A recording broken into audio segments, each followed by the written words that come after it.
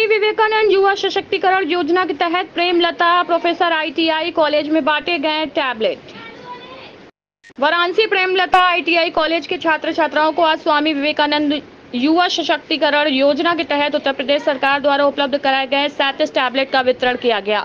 इस अवसर पर मुख्य अतिथि पार्षद मदन मोहन दुबे पार्षद ब्रिजेश चंद्र श्रीवास्तव शिक्षा विभाग के अधिकारी एवं कॉलेज के प्रबंधक रामाश्रय प्रसाद कुशवाहा द्वारा उपस्थित सभी छात्र छात्राओं को टैबलेट का वितरण किया गया। इस अवसर पर मुख्य रूप से राजीव सिंह आनंद कुमार मनोज कुमार रूपेश कुमार तथा अन्य अध्यापक मौजूद यही माननीय योगी और मोदी जी का डिजिटल इंडिया है। डिजिटल इंडिया के एक हर बच्चों के में एक अलग तरह का लैपटॉप देके टैबलेट देके अगला विकास करने का जो उद्देश्य है, जो विदेश से लेके अपने देश को एक कैटेगरी में लाने का काम कर रहे हैं, माननीय योगी जी, मोदी जी। और इन बच्चों को बहुत बहुत धन्यवाद देना चाहता हूँ कि अपने आप में अलग मिसाल ये पेश कर रहा है। मैं बार बार कहता हूँ, आज भी कहना चाहता हूँ कि जो पानी से नहाते हैं और लिबास बदलते हैं, जो पसीने से नहाते हैं, इतिहास बदलते हैं। तो ये आज प्रेमलता आईटी कॉलेज के बच्चे आज इतिहास बदलने के लिए जा रहे हैं। इस इतिहास को देखना चाहिए। और इस इतिहास को किस रूप में देखते हैं, आप भी देखेंगे, हम भी देखेंगे।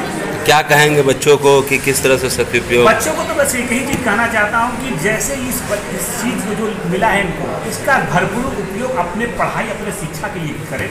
तो आगे आने वाले दिन, दिनों में इनको भी लाभ मिलेगा और इनके परिवार को भी लाभ मिलेगा, इनके समाज को भी लाभ मिलेगा, हम लोग को भी लाभ मिलेगा, क्योंकि हमारे देश के बच्चे अगर कोई प्रोफेसर बनेगा, कोई इंजीनियर बनेगा, कोई डॉक्टर बनेगा तो हमारे देश के लोगों को भी तो उसका लाभ मिलेगा। तो बधाई देना चाहता हूँ इन बच्चों को भी और इस विद्यालय प्रांगण में जो छात्र हैं छात्राएँ हैं गुरुजन हैं उनको भी बधाई देना चाहता हूँ। इतनी बड़ी संख्या में उपस्थित सभी लोगों को बुलाएँ और एक साथ वितरण करें। ठीक। भाई जो प्रदेश सरकार की जो योजना चल रही है उसका लाभ जन जन तक पहुँचाने के उद्देश्य से आज ये प्रोग्राम किया गया है।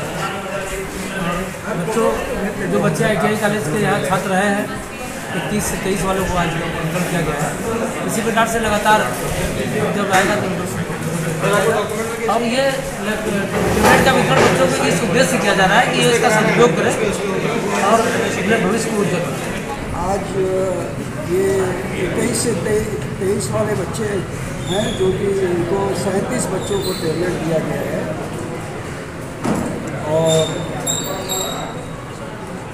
अभी तक कितने बच्चों को दे चुके हैं आप यहाँ से? इसके पहले बत्तीस बच्चों को मिला था अभी सैंतीस बच्चों को मिला जैसे जैसे आएगा वैसे वैसे मिलेगा। क्या कहेंगे बच्चों के लिए आपका क्या संदेश होगा? बच्चों के लिए यही संदेश है कि इसका सदुपयोग करें।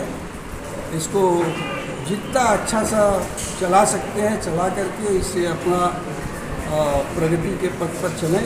यही सबसे बड़ी उपलब्धि बच्चे कुछ ले जाके घर पे रख देते हैं यूज़ नहीं करते। गई है यदि नहीं चलाएँगे तो फिर जाँच में जाएँगे। तो किस किस तरह की दिक्कतें आ सकती हैं? दिक्कत ये आएगी कि फिर वो खोजबीन होगा कि क्यों नहीं चला रहे हैं। तो क्या कहेंगे बच्चों के लिए? बच्चों को कह दिया गया है कि आप इसको चालू करिए चालू करके उससे उपयोग करिए। उपयोग कर बिल्कुल आज के समय में इसकी महत्ता को कहीं से नकारा नहीं जा सकता तकनीकी युग है। और गवर्नमेंट ने युवकों को आगे बढ़ाने के लिए और जैसा कि अभी बच्चों से हम लोगों ने बताया भी कि अब आप जॉब सीकर नहीं जॉब प्रोवाइडर बनिए आप तकनीकी शिक्षा लिए हैं, आप इसका भरपूर उपयोग करिए। आपको गवर्नमेंट ने टैबलेट दिया है और ये टैबलेट आपके लिए एक टूल के रूप में है, जिससे आप अपने लिए भी काम करें, समाज के लिए भी काम करें। और देश की उन्नति में आप एक महत्वपूर्ण भूमिका अदा करें।